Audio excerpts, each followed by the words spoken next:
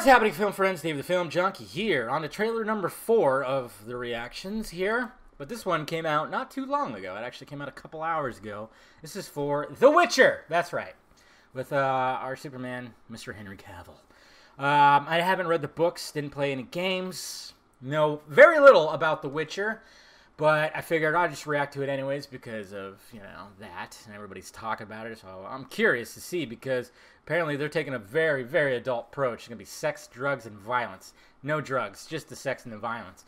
And I'm like, there's some sex, but there's going to be some graphic uh, violence and stuff too. So here we go, guys. Not to mention, Jesus Christ, I saw a picture. Cavill, Cavill's more jacked in here than he was with any of the Supermans, it seems. So here we go.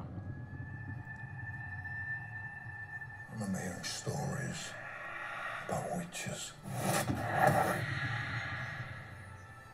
Is it true what they say? Elves are the original sorcerers of the continent.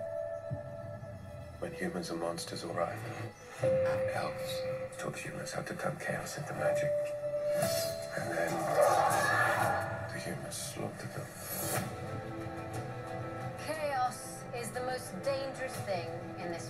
World. But without control, chaos will kill you.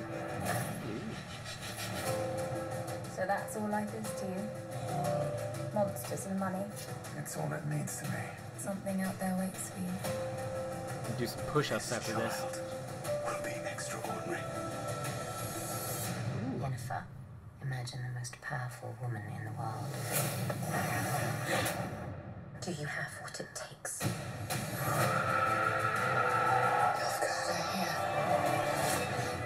She's why they came. You can't outrun destiny just because you're terrified of it. It's coming.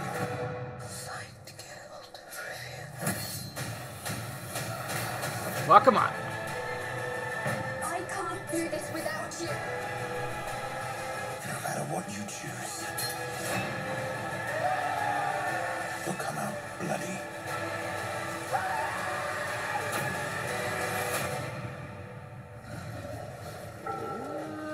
Oh, big spider. Oh. Damn. Damn. It's always Henry Cavill in his eyes. Something going on with his eyes. I'm down. That looks great.